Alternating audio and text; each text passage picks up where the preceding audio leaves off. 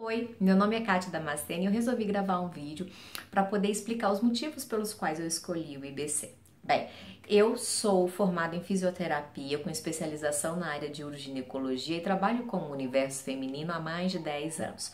Porém, eu trabalho apenas o aspecto físico dessa mulherada. E aí eu vi surgir essa necessidade muito grande de trabalhar o lado emocional foi quando eu tive então a ideia de fazer a formação em coach.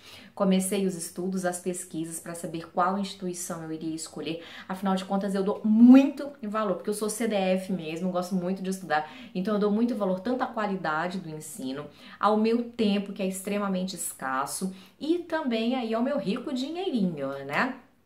Então, baseado nesses três fatores, eu cheguei a duas instituições finais, o IBC e a sua maior concorrente, se eu não estiver enganada.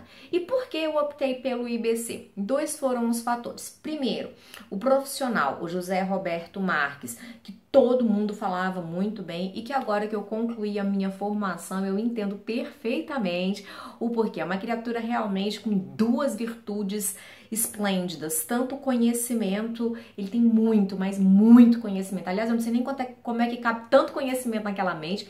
E o segundo, que é o coração grandioso, ele consegue nos ensinar com esses dois instrumentos. E a segunda questão que me fez optar pelo IBC foi exatamente uma frase da concorrência. Quando eu conversei com um vendedor da outra instituição, ele falou assim: Eu não acredito que você vai fazer a sua formação numa instituição que chama as pessoas de ser de luz. Essa foi a decisão final, então, porque mal sabe ele que eu acredito sim. E foi isso que eu aprendi lá dentro. Eu aprendi não apenas inúmeras, milhares e milhões de ferramentas, porque é lógico que a gente precisa de ferramentas para poder trabalhar como coach, mas muito além disso, eu aprendi que o ser humano, cada um é diferente do outro. Isso para mim foi uma lição muito importante.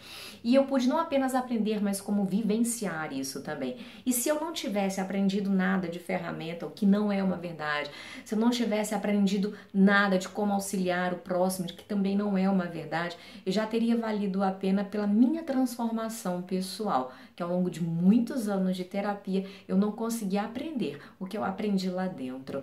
Então essa é a lição que eu vou levar aí para minha vida profissional, para as minhas coaches, para as mulheres com as quais eu trabalho, de que sim, a vida é maravilhosa e que a gente merece sim ter sempre muito mais.